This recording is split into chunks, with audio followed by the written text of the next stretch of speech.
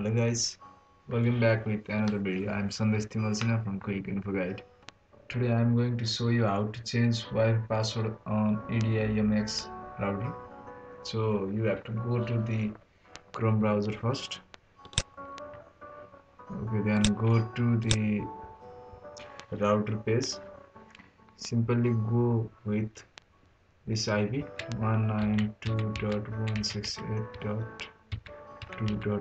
192.168.2.1 if you have Edimax router then type this IP address and put username and password. By default it is admin admin. Okay. After you enter the router area go on this side uh, 2.4 gigahertz wireless here you see many options. Click on the 2.4 GHz wireless and go to the basic. And here you see basic setting and wireless setting. Go on the wireless setting. Here you see pre-security by default it is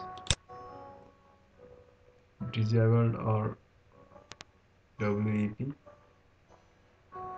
I put on put this on WPA pre-shared key and since this what you like to change I'm going to change uh, right now.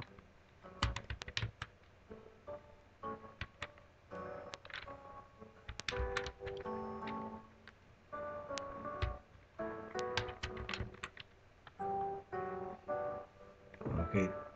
After you enter click on save setting.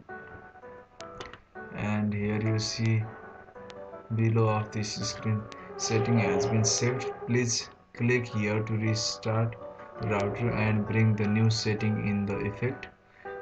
Uh, and click here to restart click on this button. Okay. You can see it is now processing. Wait for 54 seconds and it will automatically change this Wi-Fi network password.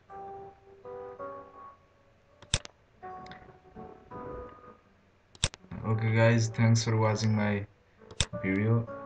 If you want more video and updates please subscribe or like my videos for more updates. Thank you